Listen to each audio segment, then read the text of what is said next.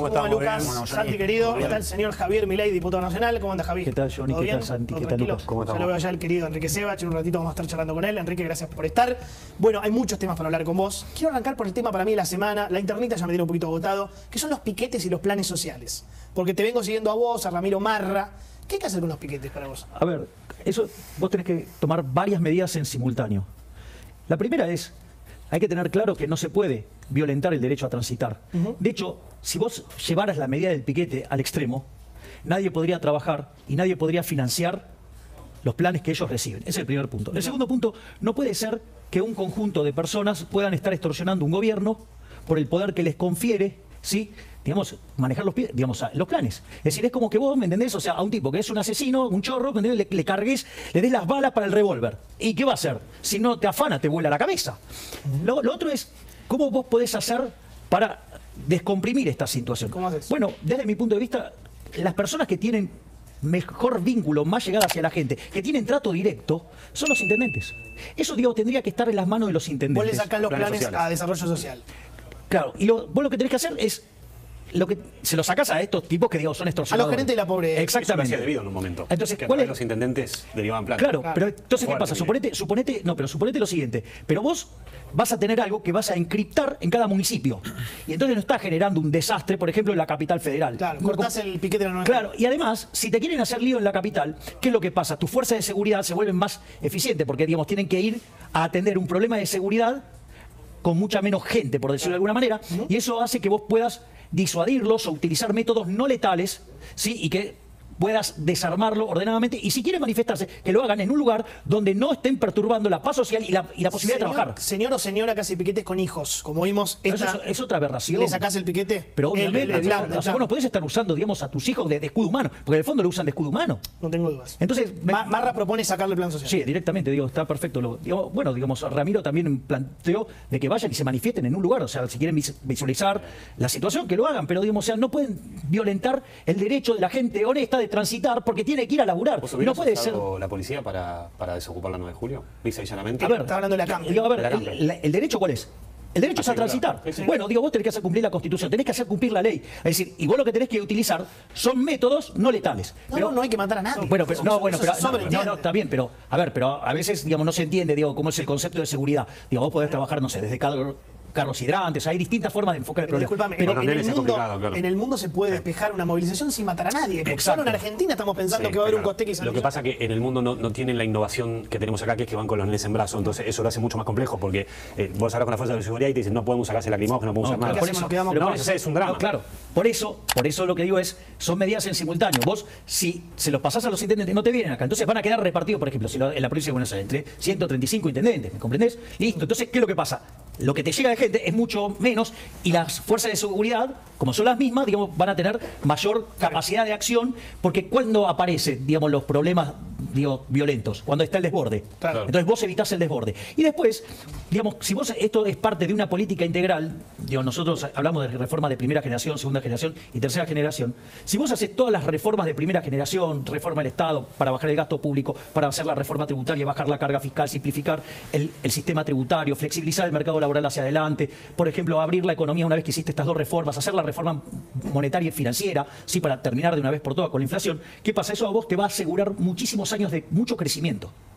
Y todo ese crecimiento que vos vas a tener por estar modificando el sistema laboral va a ser intensivo en trabajo. Entonces vos vas a generar mucho crecimiento, vas a generar que sea intensivo el trabajo. Y necesitar menos planes. Exactamente. Entonces en dinámica lo que vos te vas a encontrar es que las propias personas se van a correr del plan. Escuchame una cosa, yo, yo te entiendo, ahí, ahí voy, Santi. Yo te entiendo, eso lleva tiempo. Ahora, ahora, ya, la semana que viene, la otra. Kisilov dice, la situación social no da para más. Como si fuera un extraterrestre, un Enrique Macaya Kisilov. Come- comenta, es un comentarista. ¿Puede pasar eso, que la situación social se ponga fea? No, la situación social está tremendamente complicada. Digo, por, por mucho menos que esto, digamos, a, a De la Rúa se lo llevaron puesto. La diferencia es que, Fuerte. bueno, la diferencia, digo, bueno, Alberto es el de la Rúa peronista. A ver, vamos a poner... Dos títulos en cinco De la- segundos. De la Rúa se fue en un helicóptero, otra cosa y que Alberto va a terminar así muy fuerte, Javier, lo que está diciendo. A ver, yo no estoy, yo lo que estoy O diciendo lo decís es por blando. por lo blando y por lo poco operativo y la poca capacidad para resolver problemas. Y, a ver, de la Rúa tenía gente complicada que le vivía saboteando su gobierno.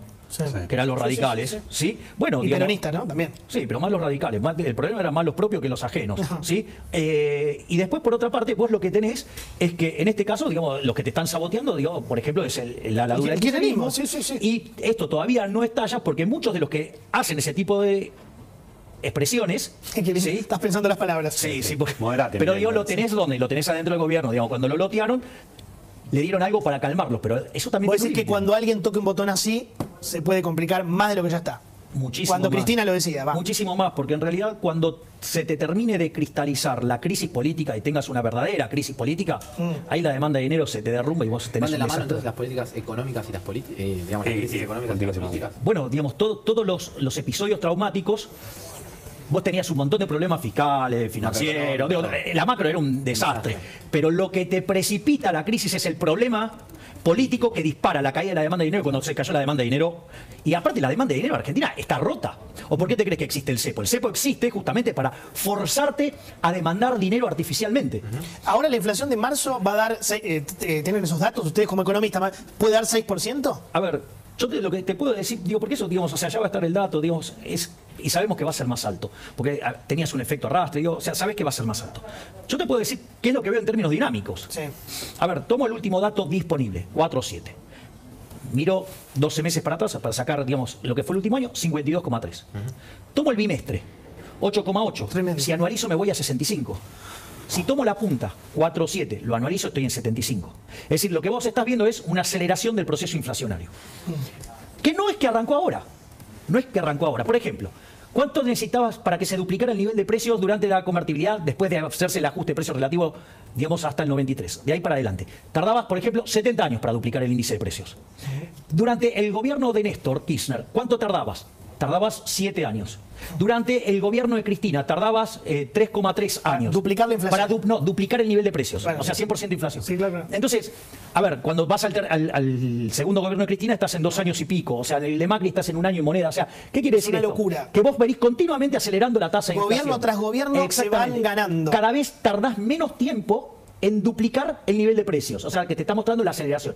Y vos fíjate, porque es muy interesante cómo ocurre la dinámica cuando se te cae la demanda de dinero. Cuando vos se te cae la demanda de dinero, digamos, en general, digamos, ¿qué hace la gente cuando sale del peso? Va y compra dólares. Entonces, cuando te sube el dólar, después que te sube el precio de los transables, después los mayoristas, después los minoristas y por último vienen los salarios. Por eso en el medio te aumentan los pobres, los indigentes. Claro. Pero fíjate esto que es interesante. ¿Qué pasa? Como vos tenés cepo, no lo ves en el dólar oficial, lo ves en el paralelo.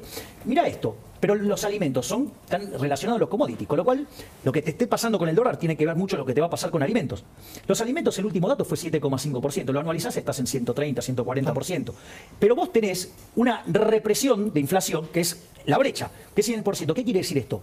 Que la verdadera dinámica de los precios hoy vienen viajando al orden del 340, 350%. Entonces, si vos, si vos lo que pasa es que digo, tenés toda la economía reprimida lo y no es gratis.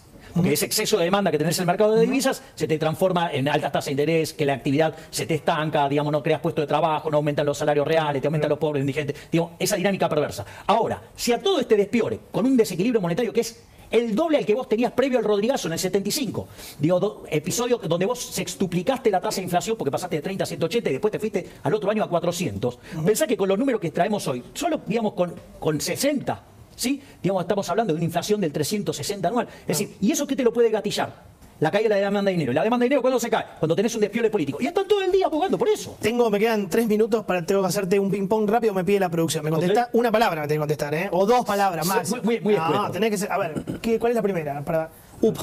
¿Qué haces con la televisión pública? Privatizar. Listo. ¿Qué haces con. ¿Qué sigue?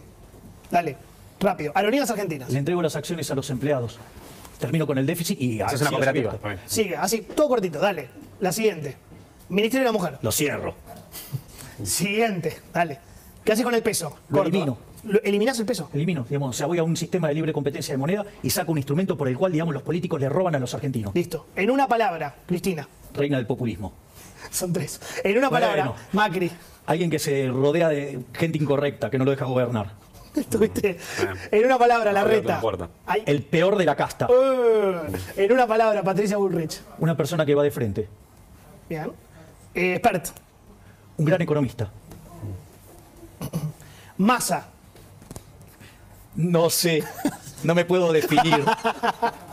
Definite, definite. Kisilov. Y listo. eh, digamos, un, un- un marxista desorbitado. Fuera- está fuera del, plan- de- del planeta. Está bien, o sea, está fuera del planeta. Sí, fuera de Eh. Se va, una muy se corta. ¿Qué, se va. qué ministerios tenés decididos al final? Esa, Los buena que- pregunta. los- los- tengo cuatro funcionando. Los nombres, los nombres. ¿Cómo ¿no? funciona? El Ministerio de Economía. No, los nombres los. No, ver, si querés te cuento cómo, cómo es la Tenemos muy poco tiempo, rápido. O sea, tengo funcionando el Ministerio de Economía, Relaciones Exteriores, lo que tiene que ver con bienestar social e infraestructura. ¿Pero tenés los ministros? Sí, claro que los tengo. ¿Educación no? ¿Todavía? Todavía, digamos, o sea, es un tema que por ahora hay unos despliegues un poquito más grandes todavía. ¿Quién va a ser tu ministro de Economía? Ponerle la firma que va a ser uno que sabe mucho de economía, que es ortodoxo y que sepa de números. ¿Ojeano? No, no digo, no, Sí, no. sí, se lo saqué. No, no, no. no, no. si a, a Mike le gustan las finanzas. Ah, va, esto te, toca- también a esto, esto, digamos, esto te puede parecer interesante. Cómo trabaja, por ejemplo, el, el Ministerio de Economía en las sombras, ponele. Sí. Digo, todos trabajan así. Esa es la- vos trabajás en lo que es todas las reformas estructurales y todo lo que pensamos hacer, Ajá. pero al mismo tiempo trabajás como si estuvieras sin office. Entonces pasa esto, bueno, ¿qué hacemos? Porque ¿qué es lo que pasa? En la medida que vos te encontrás con problemas y que los querés resolver, vos tenés que tener un marco institucional que te ampare. Entonces, quizás si no lo tenés, ahí se te dispara que tenés que hacer una reforma estructural. todo rápido, todo volando. Gracias, Javier. Un, Gracias un lujo ustedes, un tenerte. verdadero placer, gracias. Vamos a presentarlo al señor Enrique Seba.